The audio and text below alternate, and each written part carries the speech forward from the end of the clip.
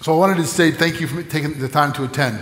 I, I think it's healthy for us to do these, even though this is a relatively small sample size of our church family, from time to time to have church family meetings where we can talk about what's going on and have you have a chance to ask questions. And there, you should know there are a number of people who will watch this online as they did last time as well. So I want to take a minute just to say to all of our staff members who are attending, and this, it's not required that they do, but would you stand if you're a staff member so we can just say, recognize you and thank you? Yes, thank you. Awesome. Way up there, thank you, all of you, very much.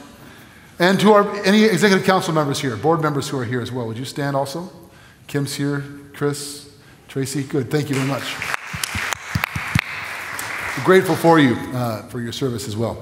So, uh, in keeping with what we did last time, I'd like to uh, bring uh, our Director of Operations, Abe Doncel, up to give us just a brief little glimpse into how we're doing financially. Not a whole lot has changed there, but I thought it'd be good for us just to uh, give an, an, update and for have you a chance to ask questions about that before we move on to some more strategic, visionary things. Abe. Great. Thank you, Jeff. And uh, good afternoon. I think it's officially afternoon. Yes, 1217. So um, if we can, I just wanted to take, as Jeff mentioned, a quick opportunity. For those of you here last time, I had the, the chance to share a little bit of our kind of financial health and, and, and where we're at uh, from, uh, from the standpoint of, of our generosity and giving. So I wanted to provide a quick update. Again, only a month has passed, and it's, when it's good news, I want to make sure we take ample opportunity to share that. So uh, if we can go ahead and put the slide up. This are our financial highlights. This is uh, data that I share routinely uh, with the EC as well as with our staff. Um, this is for just the first two weeks, excuse me, first two months of our fiscal year ending October 31st. So we're a couple weeks uh, even past this time, and, and it's continues to be good news, but officially through our first two months, we see that we're operating just about $90,000 or so ahead of our uh, budget. And uh, for those of you who may recall and, and are been around, our budget this year was uh, voted by the congregation to be uh, not an insignificant increase over our previous budget. So we're running a budget of approximately $5 million. And so to be uh, ahead of that to this extent, uh, at least the first two months into the year, is, I think, uh, an indication and just a true representation of the generosity and, and the faithfulness of, of, this body. So it's, it's great to see that. Equally good news to a degree is we're also running behind a little bit on our expenses. So we're about 48,000 behind our expenses. That's driven by a couple of things. I think to one degree, the, the stewardship of the staff uh, you've seen represented here and those that are even not here to work uh, just tirelessly and very carefully to make sure that we, any investment we make, any expense that we incur is truly needed and, and, aligning with, with our overall vision and mission. But also we have a couple key staff positions that are currently vacant that we're actively recruiting for, and so that's also uh, put us a little bit behind in our expenses as, as, those are roles that we anxiously are looking forward to filling, but in the interim um, are not obviously paying for those salaries yet at this point. So uh, a little bit of a, of a uh, kind of a win-win there uh, relates to our budget. Uh, net net, we are running at about uh, $550,000 in our unrestricted funds, which gives us about a month and a half. We're actually a little bit even ahead of that, so we're closing in on just two months of operating expenses kind of in reserve. And so it's something we work closely with the finance committee and with our staff to understand how to have that strong position of stewardship. Again, in case we is an unexpected need or something that we can respond to, that we're, we're being faithful to that, but that we're also using those funds wisely to support uh, the ministries as well. And then as you see our worship attendance, um, that's also being driven by a, continued increase. And as I said, I think last time, uh, it's, in, it's an increasing number on an increasing number. So as our uh, uh, attendance and congregation continues to, continues to grow, we see even an increase over that number as time goes on. And so both in the last two months and over the last 12 months, we've seen a pretty strong increase in, in attendance overall.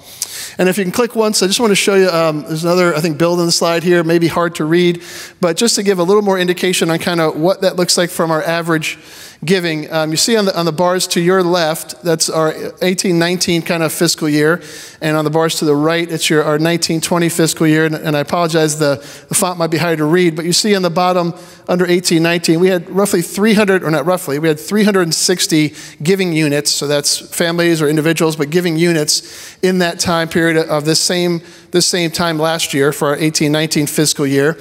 And we had about 360 giving units that you can see the, the, uh, average gift uh, is the darker bar on the left, and the median gift is the yellowish bar on the right. And if you look at this same period this year, so for 1920, we've increased that to 381 giving units. So we've got more people coming alongside and, and demonstrating generosity and, and a desire to be part of the body here financially. And what's interesting is not only is the number of people giving, but the average gift is also increasing. You see there as the, that bluish bar on the right uh, significantly higher than the bluish bar on the left. So just a great indication of what God is doing in the hearts of, of his people here and their commitment to not only attending and being part of, but, but generously supporting the ministry here and the opportunity to reach lives and impact our community. So just wanted to share that briefly. Um, you see a little highlight at the bottom. The, the net net story of all this is that our giving is up roughly 33% over this same time last year as, a, as your congregation. So just a great indication of all that God is doing here. So that's all I wanted to share specifically today. I don't know if you want to take questions now we're running that, Jeff, or we want to. Sorry. Anybody have any questions related to the finances of the church, both what's on the screen or things that maybe not?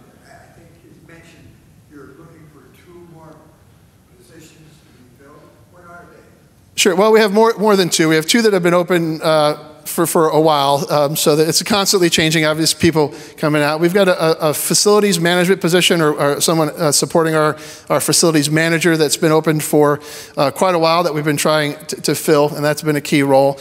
Uh, we also have a couple positions in our communications department, both for a graphic artist as well as for someone to support our social, social media activities. And then on the ministry side, we actually have a couple openings um, in our um, Masterpiece Kids uh, John, do you, do you want to speak there as well. So, let John, speak to that. Yeah, we have, uh, we have uh, several positions open. We have, You may not know it's working. I think you. Yeah, turn on. there we go, sorry. We have uh, several positions open on the ministry side. We do have two positions in our Masterpiece Special Needs Ministries. We also have a position open in our, our Chapelstreet Kids um, ministry. And then we also have a, a position that we are in the process of developing uh, for our trips, um, for our, our overseas trips, uh, director for that role as well. So those are the current roles we have in the ministry side. They are all at the moment part-time positions, but very significant ones. Mm-hmm. So thanks for asking that question. Todd? Uh, you mentioned giving's up thirty-three percent over the past year. Yeah. What's the correlation with attendance over the past year? Up, uh, up three, uh, 3% is what the slide just showed a minute ago, yeah. So yeah, the, giving 33% is year to date, our fiscal year, which is two months. So because our fiscal year, so our giving for September and October is up 33%. Our Yeah. for that same time period, our attendance is up 3.2%. Now, one of the interesting things about attendance, that, that is, so we're working on what we call a dashboard of engagement. That sounds like a funny phrase, but it means uh, a look at different ways to measure.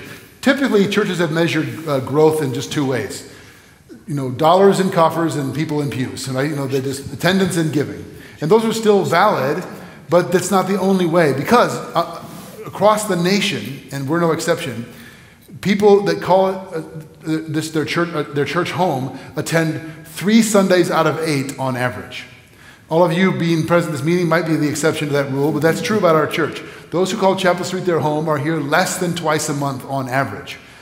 Kids, kids, sports or activities, family things going on, travel, whatever the reasons are, uh, and some of that is not good. We want to we want to paddle against the current of our culture and call people to be in corporate worship weekly. Some of it also is just the way the world is, and we, you know, we, we're just. I'm not making a value statement. I'm just saying that's true. So even to see any increase in attendance actually is is saying more than that number says, because that's who's showing up weekly. We know, but what that means is what the number of weekly attendance is. That's that's about half or less of our worshiping body of our congregation. Whoever shows up on a given weekend. Um, now, it's the same half. It's not the same exact number of people rotating, but so it's an interesting, because we were seeing flat or declining attendance five years ago and increasing giving. Now we're seeing an increase in both, which is a really healthy sign. And again, there's, we're tracking other ways of engagement in terms of participation in small groups, engagement in serving, the number of people serving and new servants. So there's a lot more ways to track and, and measure engagement in the life of Christ than just showing up on the weekend. Anyway, other questions about that before we move? Yeah, Clark. What is the finance committee that you refer to? What is this committee you refer to? It uh, well, it is. It's uh, a body that was created, and be honest, I haven't met with them yet for the first time. Our first meeting is in a couple weeks uh, in my tenure, just coming out October first. But it's a committee of, I believe, five attendees uh, or five participants. There's a couple of our EC members that are on that, and, and a couple non-EC members, and, and it's just an advisory committee um, that helps support the the advise the EC as well as uh, myself and my role as director of operations around our financial health, well-being. We'll be sharing. We just completed, uh, which is probably interesting to share. We just completed our annual audit uh, with an external audit committee, and so we're, we're waiting the final results of that. The, the good news is they gave us a very strong thumbs up uh, immediately concluding the audit, but we're waiting for our official audit report. We'll be reviewing that with the finance committee, but that, that's who that is. It's, a, it's just a, a third, Yeah, it's, a body I that's here. It's actually in our bylaws as well to have a finance committee. as Yeah, part of correct. our- So it's an advisory committee, but it meets with, Abe's the only staff member there. Anybody here ever served on it? Yes, Kim Kim, on Can you speak, Kim, anything you want to add to that? Yeah, I mean, uh, it's just, I think another level of accountability, certainly we go over practices and just, uh, all the fine details of the finance committee, so it's made up of a number of people in your congregation who have some level of knowledge in that area, so, yeah, it's a pretty good system. Great, Thanks for the question. Thank you. Other questions about finances before we move on? They're good questions to ask. As a professor of mine once said, there are no dumb questions, just dumb people who ask them. That's terrible to say, but he said, I didn't say it. He said, Yes, sir, go ahead. I've, I've always wanted to know a little bit more about the names of our pastors. I know four pretty good, but, you know, Bruce and yeah. Serving and you and Brian, but, you know, when somebody says, how many pastors do you have? I really don't know. I know we got more than three. Yeah. uh, And four. Good. I'd like to have a list or something, maybe they're in the, uh, the, uh, what, internet. Uh, Yeah, they're, they're in the internet, they're in the ether. Yes. yeah. Yes. Our, all of our staff and their titles and roles are on our website, but I can speak to that right now because it's a good question.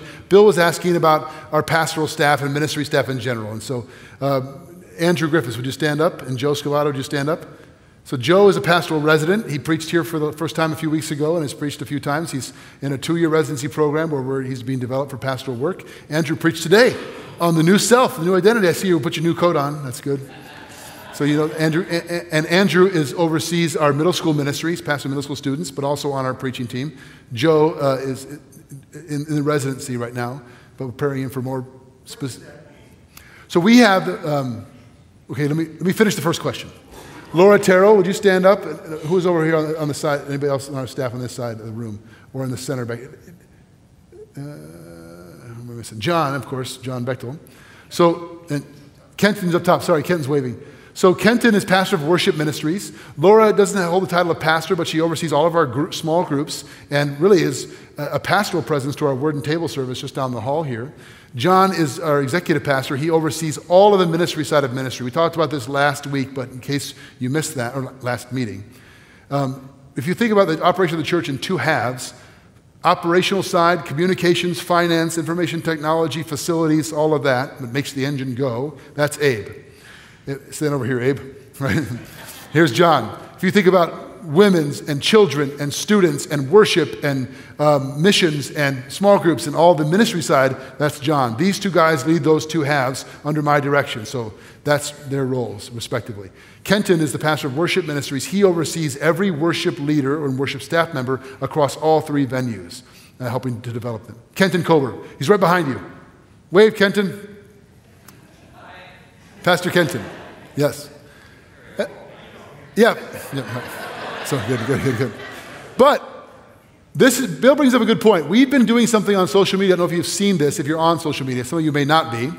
We've been posting on Facebook uh, about once every couple of weeks, highlighting a staff member. Uh, I didn't mention Bruce. Some, he mentioned you, but you're here because Bill already knew you. That's why I didn't say your name. Bruce, by the way, if you don't know, Pastor Bruce oversees all of our local and global uh, outreach and impact. So, this, when we talk about Serve the World Partners, that's, by the way, over half a million dollars given away a year. Bruce oversees, he's not in charge of all the money by himself, he has a committee, but he, but he, he oversees all of that and does a fantastic job doing it. So, And Paige, uh, Peltier, Paige is not on pastoral staff, but she is in charge of a, a number of things. Our summer internship, pastoral residency under Brian's direction, connections, new connections, and, and uh, helping people assimilate into the life of the body. Where's Carrie?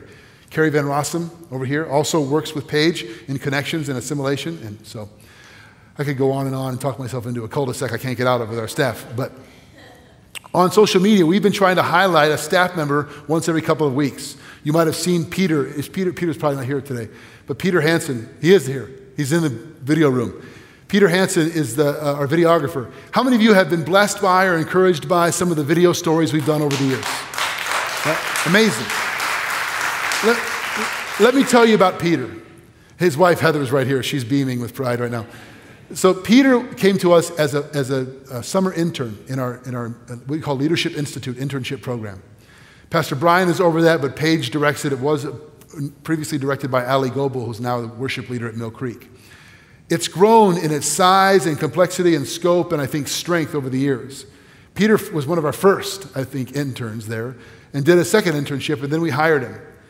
And we have been so richly blessed as he's grown in his gifts and his uh, expression of them.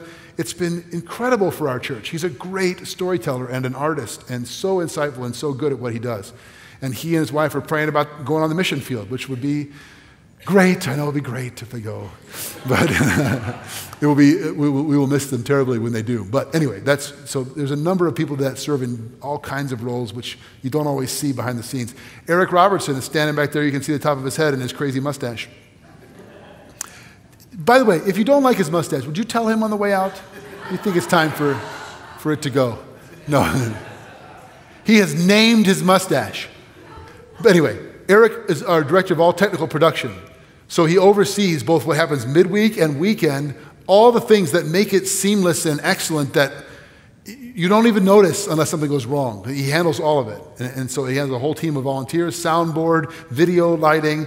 Uh, that's Eric, and it all falls under him. And we are growing, and Eric was probably rolling his eyes right now. We're growing uh, at an Uh, exponential rate in terms of what we're trying to do on the technology and production side, and, and Eric is uniquely skilled and capable of, of, handling all of that. So, okay, enough about our staff. But we're trying to highlight different staff members and tell you who they are and what they do because, to your point, Bill, you kind of know the guys who stand up here each week, but you don't know all the other people that are doing really remarkable ministry. That's a good question. Any other questions? Oh, you asked about residency. What is that? I, I just forgot about it. How about Paige talk about it? Paige, come on, come on down. Paige Peltier, everybody, yay!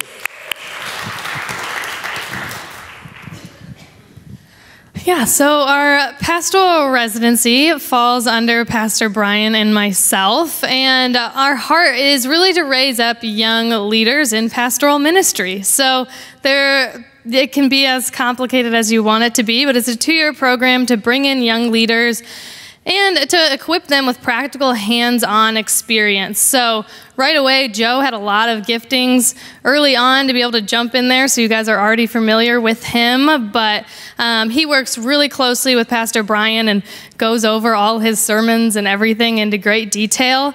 Um, and then he's going to continue into his second year of residency and continue to be equipped in things like visiting people in hospitals and funerals and weddings and all of those things where it's like in a seminary class, maybe you talk about a wedding for a day, but to actually follow our pastors around and learn in a hands on experience. So, so around. Yeah, that's that. Yeah. So uh, the I, I, a number of years ago, I was watching the NFL Network channel uh, with my NFL channel, whatever it was, with my son Noah, and they had a show on uh, about the great coaching trees of the NFL. It was a, you know, a show about like how all these coaches we know about today got their start from a few guys, Vince Lombardi, George Halas, and a few of these seminal coaches. And it had this infographic with these branches spreading out, and it showed all the coaches, you know, that we all know about and how they could trace their lineage back to a, a coach who believed in them and gave them opportunity. And I remember late that night thinking, the church should be like that. We should be a place that has branches spreading out where people were believed in and had opportunities and got their start in, uh, here. Not just here, but other churches as well. That's kind of the vision behind the pastoral residency and the summer internship to invest in kingdom workers. Now, selfishly, we hope to pick the best of them to stay here and serve with us as we continue to grow. So, if the church continues to grow and we have more needs and opportunities, then we'll be hiring some of these people. But even if not, launching them into kingdom ministry in other places.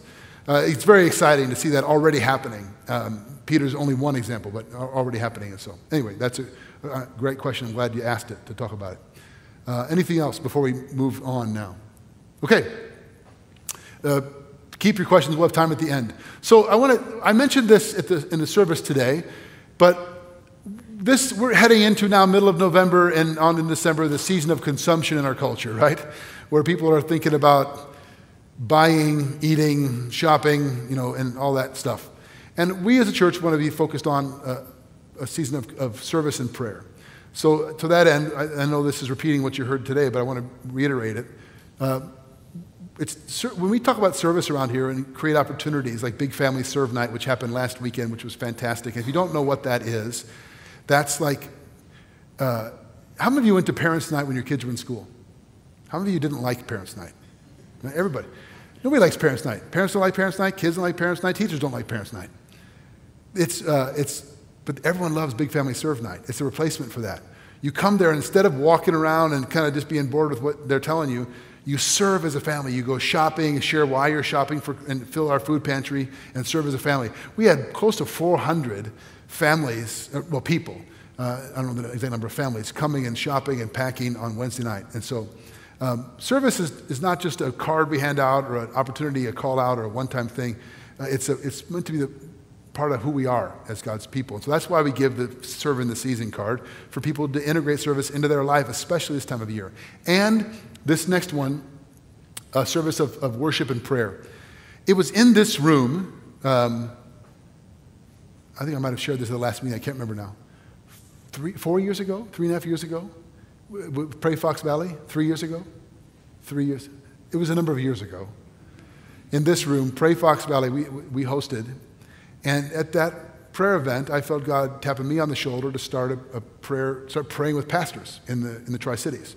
We've been doing that now for three years together. First Thursday every month, we meet and pray. Um, and just this past Thursday, we were right here in this room uh, praying again. Uh, John was there, and we have lunch together. We, and we meet in different churches and pray. And we haven't had another.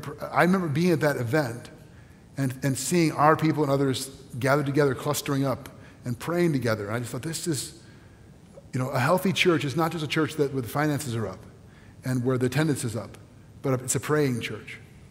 Bill, I remember be, playing golf with you. You might not remember this. And you were beating me with one hand, by the way. But, um, and you asked me, we are on, I don't know what, what hole it was. Is it Pottawatomie? And, you, and I, was, I was, this is years and years, this is a decade ago or more. And you said, I'm not going to ask you how much time you spend preparing your sermon, Jeff because I could tell you do that. I'm going to ask you how much time you spend praying about your sermon. Do you remember asking me that? And then you, and then you kind of laughed and said, I'm not going to make you answer. but it convicted me. It convicted me, and you were right.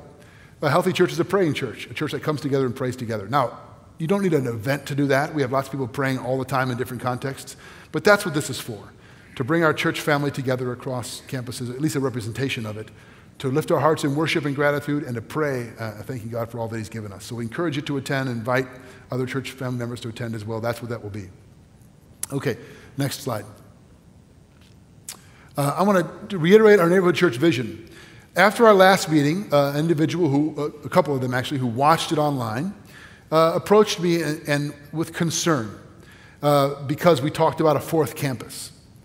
They said, "Hey, why, why are we thinking about expanding?" Isn't that what got some of these churches that have blown up into trouble because they're always thinking about more and more and more? Isn't, isn't that a bad thing? Shouldn't we just focus on what we have here? And I want to address that for a minute. Let me put the vision statement up there if you would, please. We are a family of neighborhood churches. We are already, three. Um, each one a place to experience grace, grow in faith, and make an impact right where we are. If that's true of us, and I believe that is increasingly true, what is the natural outcome of that, of a place where people can experience grace, grow in faith, and make an impact. What happens? It grows. Paul says in Philippians chapter 1 the gospel has been growing and bearing fruit since the day you first heard about it, in you and in the world. It is the nature of the gospel to grow. It's the nature of the church to grow. Jesus said, I will build my church, and the gates of hell will not prevail against it. Do you ever think about that in Matthew uh, 16? or 18. No, 16. I will build my church, the gates of hell will not prevail against it. Who has the gates in that analogy? The gates of hell. We think of heaven as the gated community, the pearly gates, you know? And we import that into our thinking about life here. The church is somehow, we have the gates. Close our gates, keep all the bad out, keep all the good in, and hang on till heaven. That is not the biblical vision. The biblical vision is the kingdom of God is advancing. The church should be kicking down gates, you know? uh, taking territory for the king. That happens in justice work, compassion work, and gospel work. And the, and the, the product of that is expansion, growth.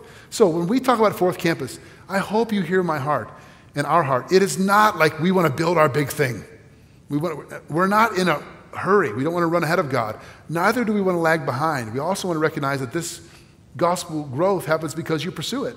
You pray about it, you plan for it, and you pursue it. And so that's, in case, you, in case that's a question in your mind or you would ask that, that's why we talk about a fourth campus, because it's part of our vision. We've said it from the beginning. We thought God brought us Mill Creek to aim us in a direction of where He wants us to go, which is multiplication and reproduction for the sake of the gospel impact. Now, when that happens and how that happens, we said last meeting, we don't know right now. We're trying to prepare so when God brings us the opportunity and the, and the place, we'll be ready to join Him but we're not trying to force it. Any questions about that? I want to be, I got asked a couple questions in the wake of the meeting, and they're good questions. They're good questions to raise. Some watch, yes, please, Clark. I just thought, was it likely at the last meeting, maybe share it again, just the staffing that needs to happen, the infrastructure. Right. Those comments that were made by you and John, I thought were really insightful and helpful.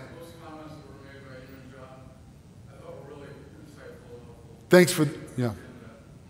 Uh, yeah, uh, you, you're quite right. So you think about, so you think about the, what, what would it take to launch a fourth campus? Four parallel tracks. Uh, you, you, you have the financial track, debt reduction, continued growth, preparation, creating margin so that we could purchase a facility, renovate a facility, or rent a facility, whatever ends up, God ends up having for us. We need to have, we need to be financially strong enough to do that. So, and then the second track would be leadership development track, and that would be what you're just talking about. Staffing, who's going to lead in that, that campus? Not just the person, the, the pastor, but also the worship team, the worship leader, children's ministries leaders, group life. There's a number of things there. And then on the other side of leadership development would be the leadership development of the core. One of the things that made Mill Creek successful was that we launched not just a, a, group of spectators, but participants. Part of going to Mill Creek meant I'm signing up to serve. I'm part of making this mission successful. So leadership and staff leadership and, and the launch team. And the fourth track is the place. It's one of the hardest things to find is the right place. Um, and so we want to be developing on all four simultaneously and they may not all be aligned yet, and that means we're not ready. But that's a good, that's a good, thanks for pointing that out. Other, yes, yes, sir, Jim. Do you have a target area? So, like, yeah. where you are the journey, is it like the Fox Valley, or could it be anywhere? Or are you trying to stay? That's good. Th- thanks, Jim, for asking that. So, um, some of you might remember back to our neighborhood impact campaign. We had that cool video, which, by the way, Peter did. Um, and, and, it, and it showed our neighborhood as a, as a church family. So we think you have a neighborhood. God's sovereignty applies to your home address. Think of your address. You're there not just because you chose it, because God placed you there. We are placed where we are in the Tri Cities area, Kane County region. So we think of our neighborhood this way Route 20 in the north, Route 30 in the south, Route 59 in the east, and Route 47 in the west. Uh, rough rectangle. There's over 650,000 people living in that rectangle. And data we have from 2010 tells us that less than half of them have a church home. Plenty of work to do. In other words, we're not trying to multiply ourselves in like uh, Champaign or in Vernon Hills or in the North Shore or uh, Evanston, right? We're, we we have a neighborhood as a church. And we're thinking along a number of lines for where in that, in that box. We're thinking proximity to neighborhoods, families, and schools matters. We're thinking, why plant a, campus right next to a gospel centered church that's already there? That wouldn't make a whole lot of sense if we could avoid that. We're thinking, where in that region is, so if you think those two things, proximity to schools and, and neighborhoods, distance from an, an already established gospel focused church, and where we might already have traction with some people that are attending here. So there's a number of places, regions that pop up, but we, we haven't said this is it. Add to that, it might also come from the heart of the leader. It might also well up from the heart of the person that God brings to lead that. So, anyway, I, I don't have more to say about that than that. I'm not hiding anything. That's as far as we are on this, you know. Um, that's a good question. Okay. Uh, others about, about that in Fourth Campus before we move on to something specific to this campus. I have a question. Yes. I'm gonna bring it up. Okay, I do want to come to you directly afterward or something. all right. I have a question. I'll wait around for you. Yeah. Next question, or next slide, sorry. Okay, I want to talk about the strategic future of this campus. I referenced this very briefly last meeting, but this is really important. Um, and some of this will be review for you uh, if you were here last meeting or watched it. Because of the proximity of the South Street campus to the Kesslinger campus, this is a unique situation. Nobody would strategically plant a campus a mile away. You wouldn't do that. Why would you do that? We didn't intend to do that. We intended to move out there, but we grew rapidly, and then what happened to us was we realized we need to keep both campuses open for a period of time. This is in the 2004 to 2007 years. We were large enough to need both campuses, but not large enough to build a massive thing out there. So you might remember we had plans back in those days to build the 1,500 square or seat uh, auditorium with slope floor, fixed seating, but we were going to worship in a multi-purpose room as an, until we got there. And we're going to kind of keep both campuses open until we grew in strength and financial ability to do that. And then something called 2008 happened. You remember that year? When the market went in the tank and all things like that went on hold. We cut our budget by 10%, and by God's grace, we didn't lay anybody off like some churches did. We didn't, but we did feel it. And in that season, I think we realigned our thinking as a board and as a staff that maybe the best use of the financial resources is not to try to reproduce this square footage out there, not to build a big, giant campus at the Kesslinger property. We own this building. It's 45,000 square feet. I don't remember the number, but give or take. Um, and we could sell it for about three million. The, the estimates told us it would cost us nine and a half to ten to reproduce the square footage. Well, that doesn't make much sense, and we own it, and it's beautiful. So we've invested in it, and some of it you're standing in. We've renovated this room, we've renovated the lobby, we've renovated the downstairs area, we expanded Shepherd's Heart. On a number of different iterations, we've invested in the campus because we own it, and God's given it to us, and we're going to stay here. So that's been settled. But because it's so close to Kesslinger and we never intended, remember back in those days, some of you that were here? What's the best use of it? Now, for a long time, we wrestled with it, we couldn't get it to grow at the rate of Kesslinger.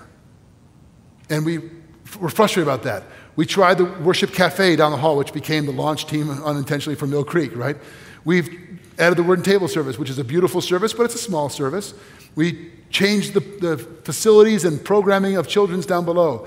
We've done a number of things to try to make it grow. And I think we're facing the, the reality, which is not a bad thing, it's a good thing. It's not, why are we doing that? Why are we trying to compete with Kesslinger? It's one church with a mile long hallway, you know?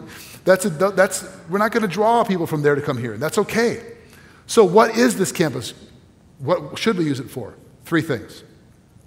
Put that slide up. Vibrant traditional worship is not and will not go away. It's, it's, I love it.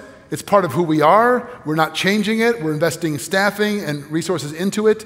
Um, and, and, and we want to do it with excellence, and we want it to be an attraction to our community. It's an increasingly rare thing in our culture. We want to market it and, and draw people to it, but it's staying right here. Uh, number two, central offices, or what you might call central services.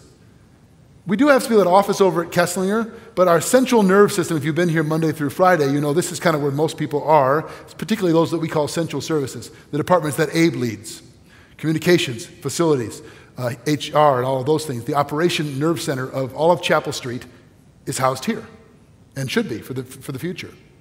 And third, and this has been the thing that has kind of grown up and we're just now recognizing it, is the face of our compassion ministry to the community that which we call shepherd's heart. Far more than a food pantry, friends.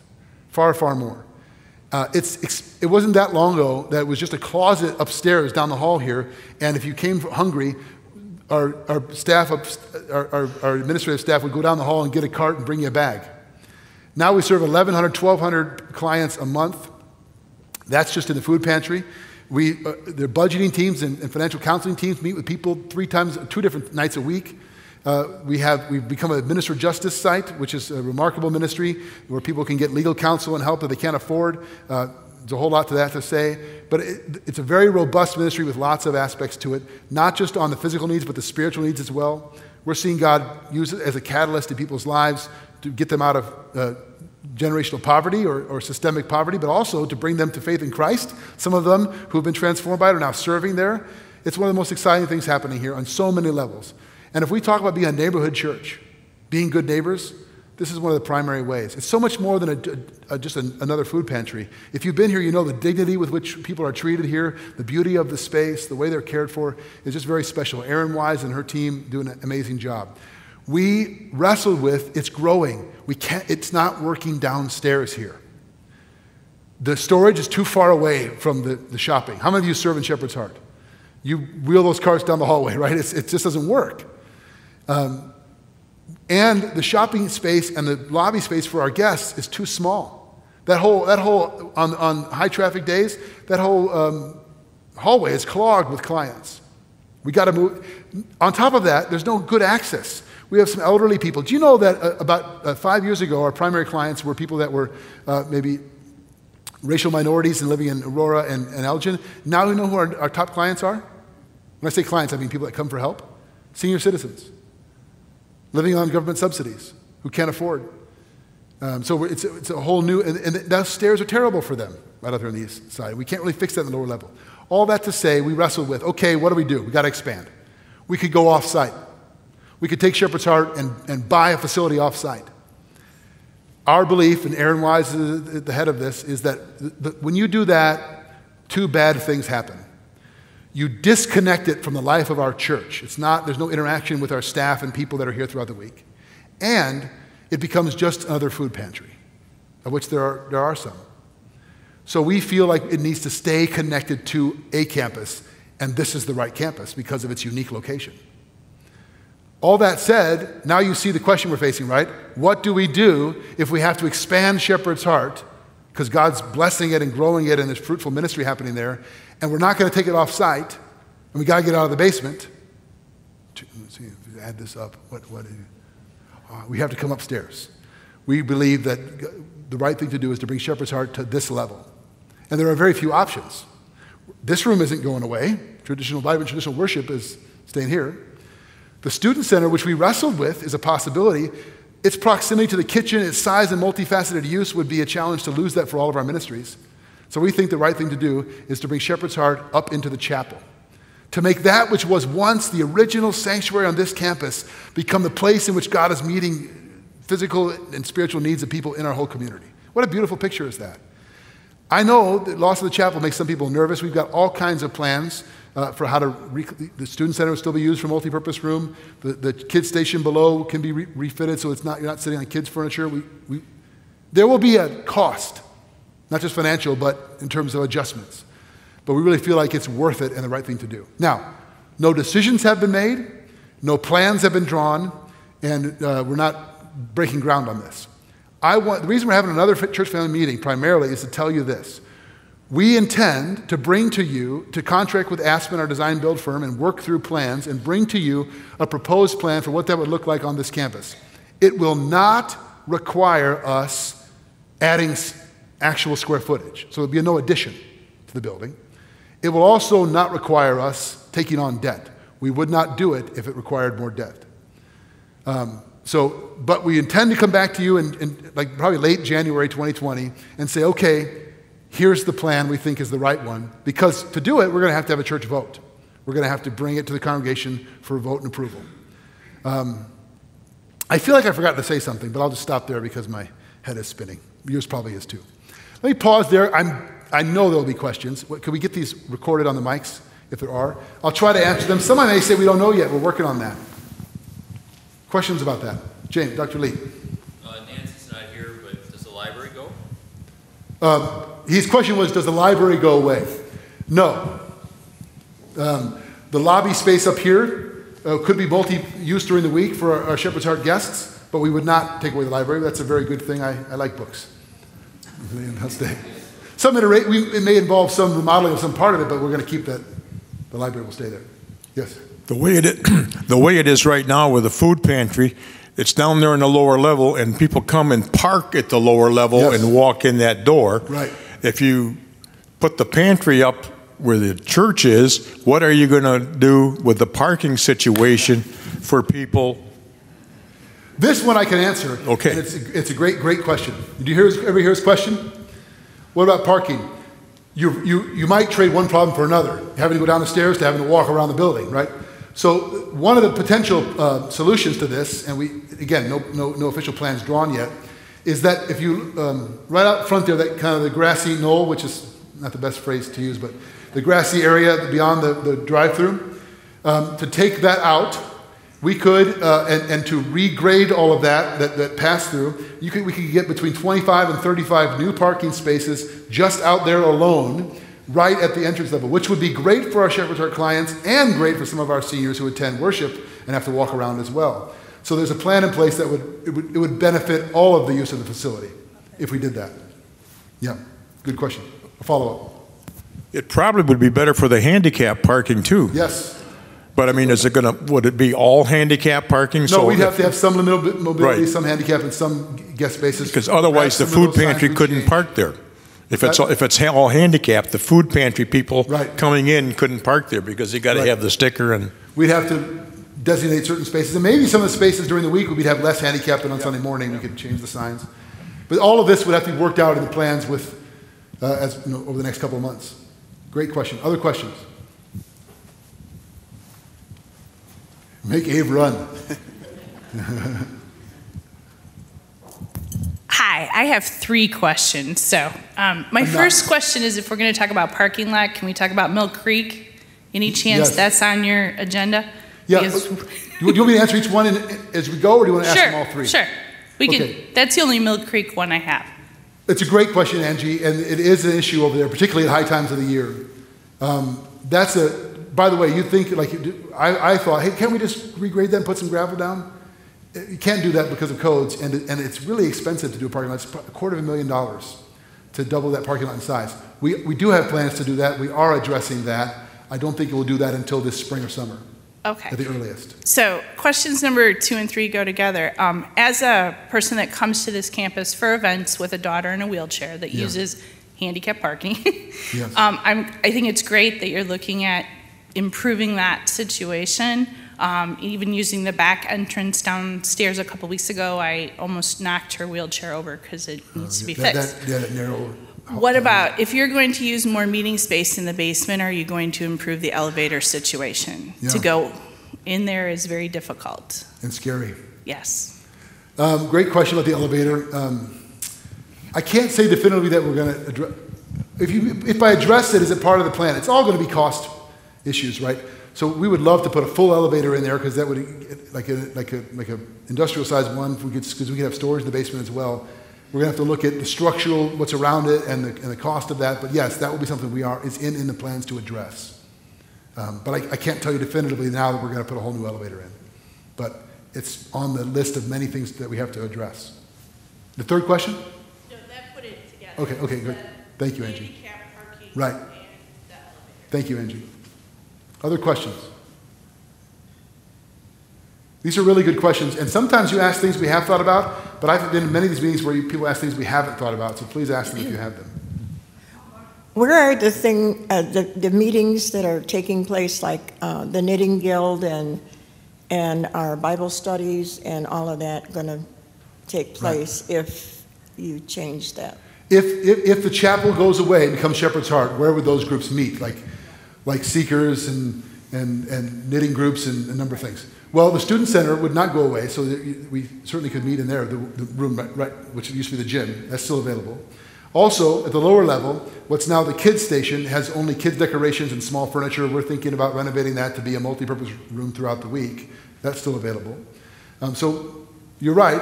We'd have, we would have to address where do those other meetings go. Thank you. Yeah. Right next door. Did you have a question as well?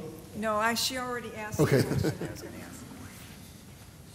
Great minds think alike. Um, Wednesday evening women's Bible study, we need to use both the student center and the chapel.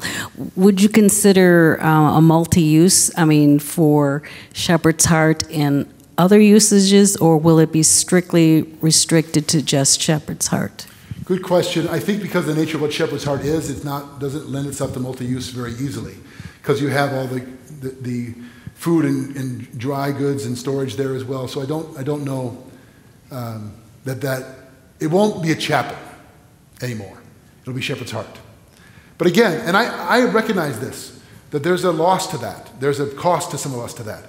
We're doing a cost benefit analysis saying this is a remarkable ministry that's changing lives and it's, we think it's worth it. We'll find other ways to have those, we'll find other places to meet, We're- but that, we think that is worth it. But you're, you're quite right. It will be inconvenient and, and challenging to find some spaces to meet. But uh, anyway, sorry. Uh, Kelly. Um, so for Word and Table, uh, which of course meets on, on Sunday mornings, uh, will that be impacted in any way, or what? What? Yeah. Uh, no, I don't, I don't think so. Well, im- impact in any way. Um, no, the Student Center will remain. Where you meet right now will not, will not change um, under the, the current thinking. Yeah. And Word and Table actually started in here. We started in here and, and just and, and liked it in here. We moved into the Student Center, I think, one summer because we had to, and then we just decided to keep it there because it was working. So I, I, we intend to keep having the liturgical Word and Table service, not going away, but um, so when you say will it be impacted in any way? Yeah. Uh, again, that's further down the road than I can answer at this point. But I don't. I, I can envision it staying right where it is because we wouldn't be taking the student center away. Yeah. That's because that's such a valuable room with the proximity to the kitchen and the canteen and all the other areas. These are really good questions. I, I know for some of you are going, oh no, what does this mean for this, for that, for that? But I hope over time you'll, you'll get a sense of the excitement. Clark had a question as well. Uh, the excitement of what God's doing here. Um, because it really is pretty, for a long time we wrestled with what, why, why do we have this campus a, a mile away? And I think the, those three things kind of answer it to me. Vibrant traditional worship, including to the liturgical worship, word and table. That it's the nerve center for our whole operation to expand the gospel in, in our neighborhood, right? And it's the face and center of our compassion ministry to the community. So, Clark. I'm just having a hard time visualizing that being big enough, so Yeah. I hope we don't undersell ourselves on what God has. I'm for glad you us. brought that up. Can I address that? Sure. So, because some people on our board have pushed back just like that as well, saying, is that big enough? We did a, uh square footage study. Hey, do you want to speak to this since I'm, my, my head, I'm talking too much? Sure. Um, but no, uh, we, we have inquired, at least with, with Aspen, who's been our partner through this, to at least get a sense of just from a footprint standpoint, no design as far as where actually everything goes, but what was kind of the trade off uh, square footage by square footage. And, and it would be a, a, rather significant increase. Um, actually, have, let me reference this so I don't miss. s- Speak to it here, but it'll, uh, it'll more than triple our, our shopping space right now. And it will double our storage space with nothing, on, using nothing on the lower level. So, so currently, if you look at all the space we have dedicated to, to Shepherd's Heart, both in, in the, the store downstairs, the, uh, the storage we have, uh, we've got roughly 1,900 square feet, just a little bit over 1,900 square feet for, for Shepherd's Heart.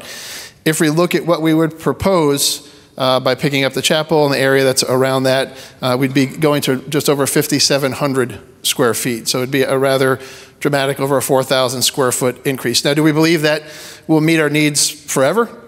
Uh, we. We, we hope that God continues to bless and, and, you know, we run, you know, need to continue to look to expand down the road. Do we think that's a year or two? Probably not. We believe this will give us the space uh, for certainly as far as we can see out in the future right now uh, with the Shepherd's Heart expansion.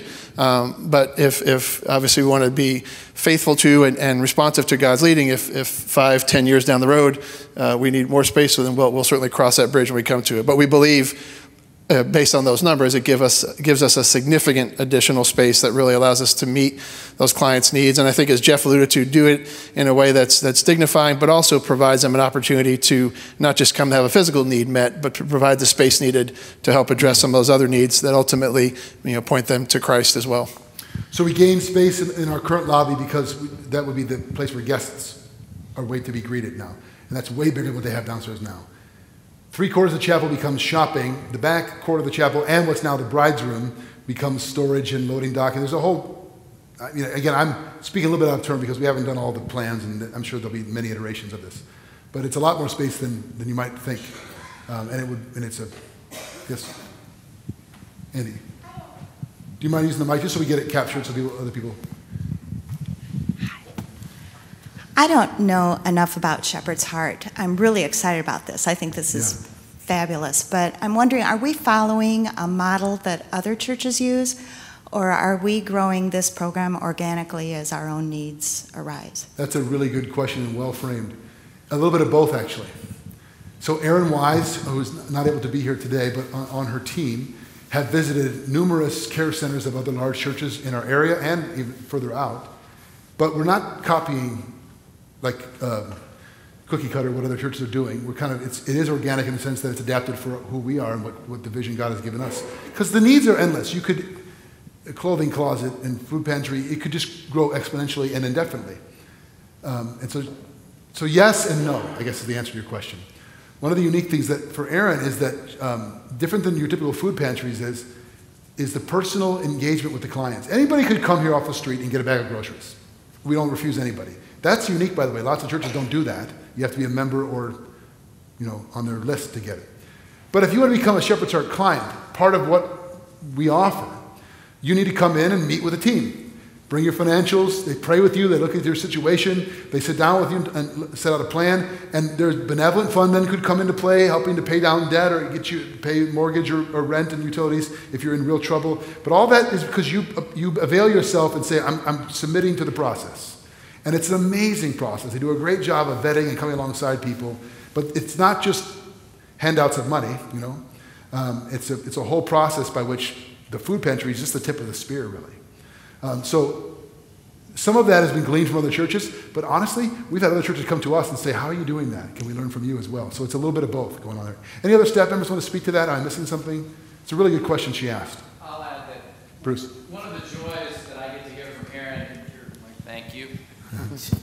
One of the joys that I get to experience is hearing Erin talk about how Shepherd's Heart goes and influences our community. So she is invited by other parachurches, other churches, other community uh, gatherings to be taught how to do it the shepherd's heart way. Uh, and and it, it's touching and it's impacting because they're coming to us saying, y'all are doing something that we're not, and you can teach us, would you? Yeah. And it, it's been happening with our Catholic churches, our Catholic parachurches, and in multiple areas in our community. And, and again, those are the parts of the story that the average Joe doesn't really know about. But uh, it's something to celebrate that we are becoming uh, a resource to our community to do justice and to show compassion mm-hmm. better, uh, healthier, more like Jesus. Thanks, Bruce. Other questions?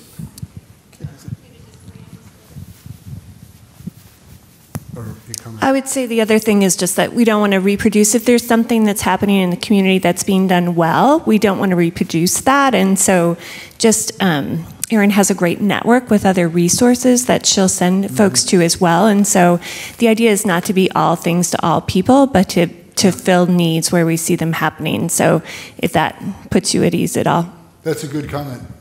That, that it's one of the things that Erin and her team does do really well is not just reproduce everything, but point people to the right places that already exist to find help in areas that we don't have to, to reproduce. Thanks, Pat. Uh, Jeff, my question is um, what's happening at Kesslinger campus? I understand that our some of our growth out there, they're packing out that early service and. Uh, start turning people away. Yeah, well, that's a problem.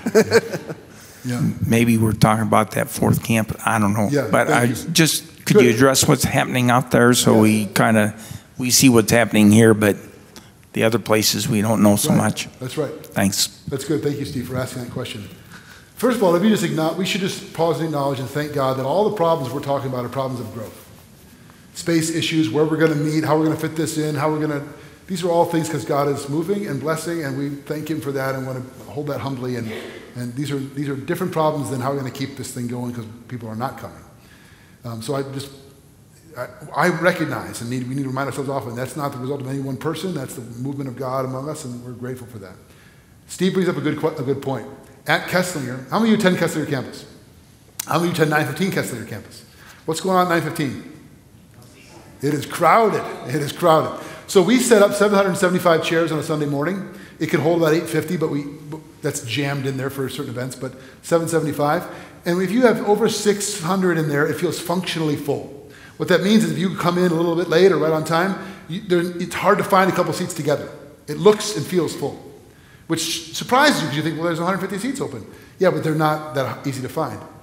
And that means people that come in feel there's not a place for them. We've been way over the 600 mark for 80% of this fall at 915. There's room at 1045. It's about maybe 100, 150 people less than the, than the 915 service. But we're trying to figure that out.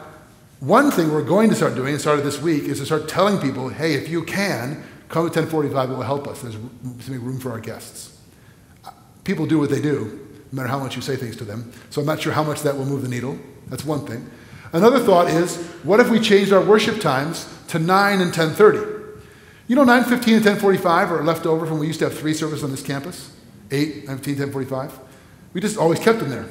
Maybe we should go back to on the hour, on the half hour, and that might, people that don't want to go 1045, maybe 15 minutes would make a difference for them to come a little earlier. I don't know. Um, ultimately speaking, sending a group of 200 people off somewhere to plant the next campus is the big difference, but we're not ready for that yet.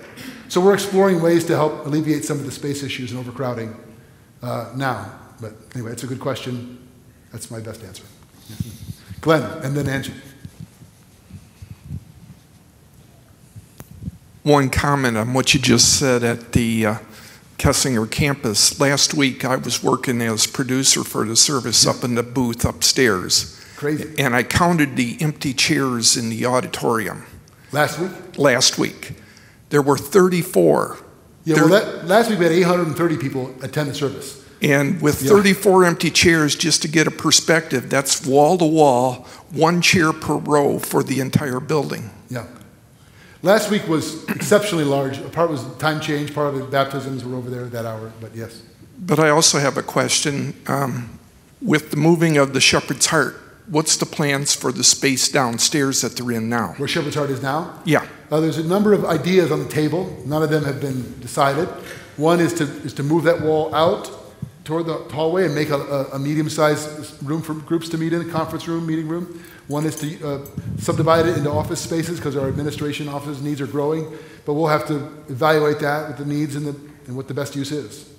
But we would repurpose it, yes. Angie. Um, I was wondering, with all of this growth, which is super exciting, we're not growing in volunteers in a lot of areas. There's a perpetual shortage in children's ministries, special needs ministries, I know sometimes ushers and other areas. How are we as a church making sure we're ready for all this growth that we have yeah. those places filled? good question. Let's start with this room. Are all of you volunteering and serving somewhere? If not, get on the train. right? We need you. Um, so it's, I, would not, I would take issue with one thing you said the perpetual shortage in children. We, we, we did, for many years, it was kind of the, you just could predict it, right? In the fall, we would talk about kids ministry, and Gilt was going to go in and serve in there. And then we, there were a number of years where we didn't have that, where we had the volunteers. And now this year, we kind of back to like, oh, we have a lack a little bit. So we have seen growth in that area. I could tell you that the number of people serving and the number of new servants is up year over year for us. It just isn't keeping up with the amount of needs. So I, I, take your point. I don't have a magic bullet for that other than talking about it, praying about it, preaching about it, and um, telling all of you to recruit your friends to come and serve because it's worth giving. It's worth giving your life to. Okay, maybe if we talk to like three, the Bears will have one. We got one more. Uh, yeah, I just have a question on baptism. Yeah. I know you have the baptisms there over at the other church. Yes. Are they ever going to repair this? Uh, baptism here so it be, be operable? Yes. Um, he's referring to this baptismal has not worked in over a decade. It leaks.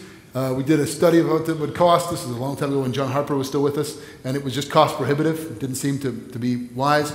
We thought we could put a portable one in the student center, but that floor, the infrastructure of the floor, Aspen tells us, would not support that weight. We were in danger of damaging the substructure, so, so we haven't done them on this campus. And I don't have an answer to that. We could revisit that again.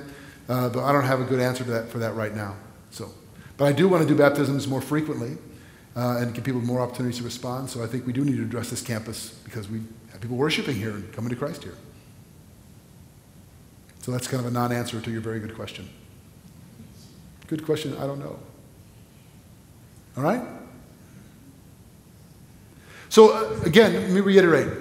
Uh, expect to hear from us, uh, particularly if you're a member, uh, announcement of another meeting in 2020, early in the new year, when we'll talk more specifics about the plan, what it actually involves, and lay out a plan to call for a church vote to move on this.